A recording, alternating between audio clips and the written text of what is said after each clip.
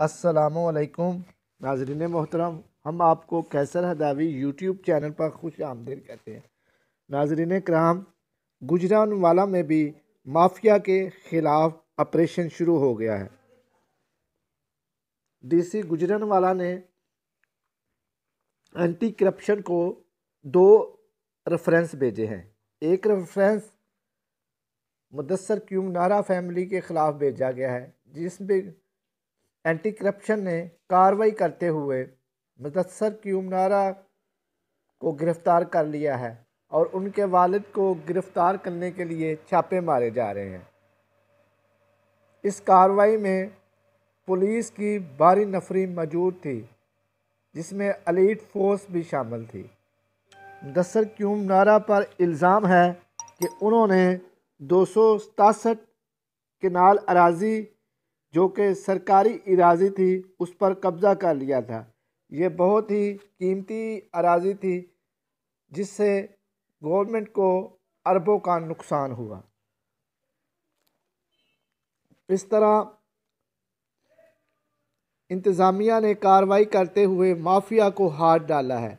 ये माफिया सालों से आवाम को और गवर्नमेंट के ख़जाने को बेदर्दी से लूट रहा था।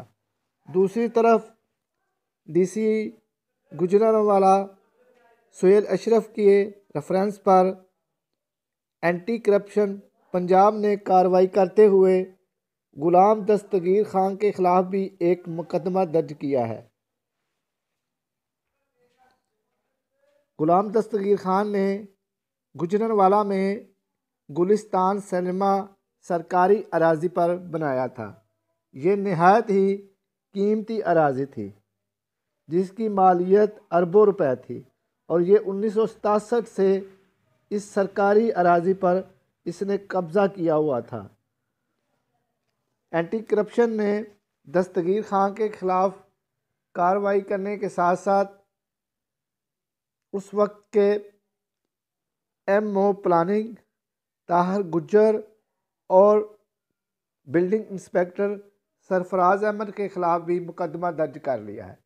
इस तरह इंतज़ामिया ना किसी सरकारी मुलाजिम को बख्श रही है और ना करप्ट पॉलिटिशियन को। गुजरन वाला में करप्शन के जो बड़े अंदाता थे, डिस्ट्रिक्ट गवर्नमेंट ने उनके ख़िलाफ़ कार्रवाई की है।